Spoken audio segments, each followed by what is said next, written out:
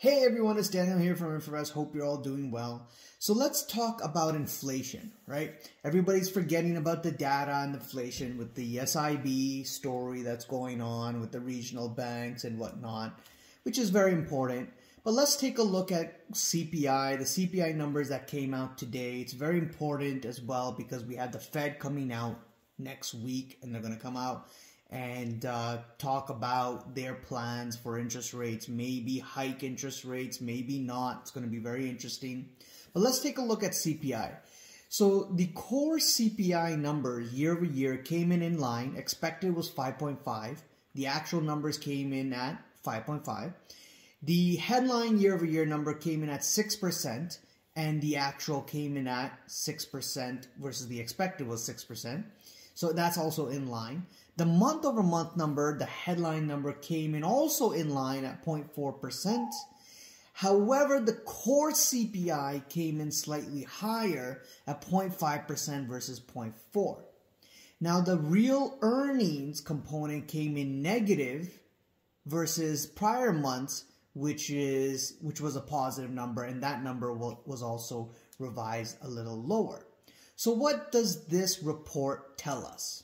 So the report basically shows us that, hey, you know, certain areas of the sectors you're seeing, like for example, energy, yes, prices are coming down in certain energy and fuel and whatnot. However, certain areas are still seeing elevated levels, still seeing levels of high inflation, even though it has ticked down compared to the previous months, especially when you look at the year over year headline number 6.4 down to 6% and the core number year over year 5.6 to slightly down to 5.5%.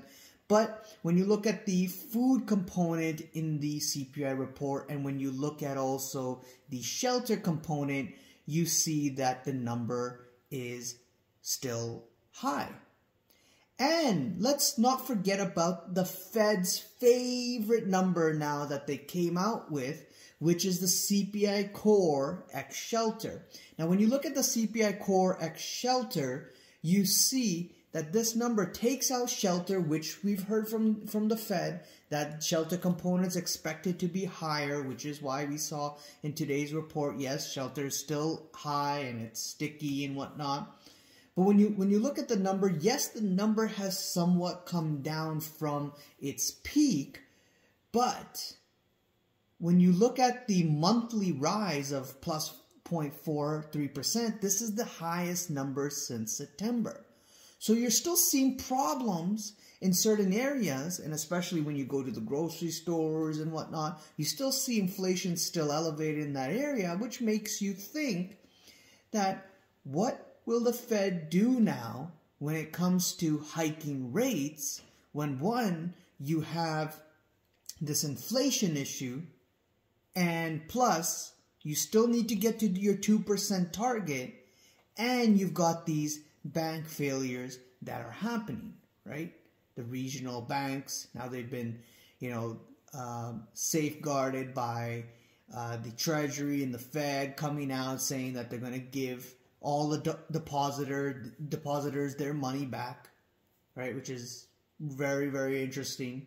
Have there's another topic we'll discuss about that later on.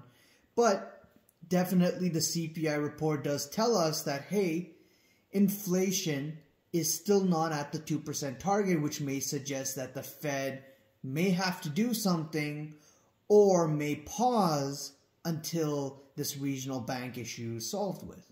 So it'll be very interesting to see what's what's important now going forward in the next coming days or actually for the next week is the Fed meeting because the Fed meeting all eyes on the Fed meeting because that's when you're going to get the interest rate decision. That's when you're going to get the dot plot. That's when you're going to get also the uh, Fed's projections.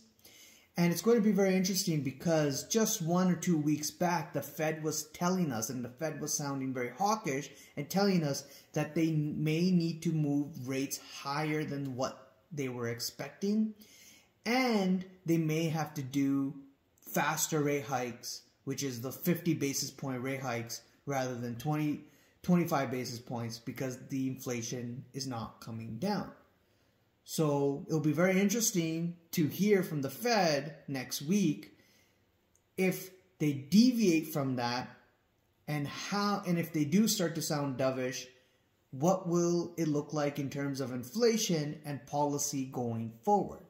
So let me know what your thoughts are. Leave a comment below, subscribe, hit the like button and the bell icon to be notified on the next video, and I'll see you guys around. Cheers, bye.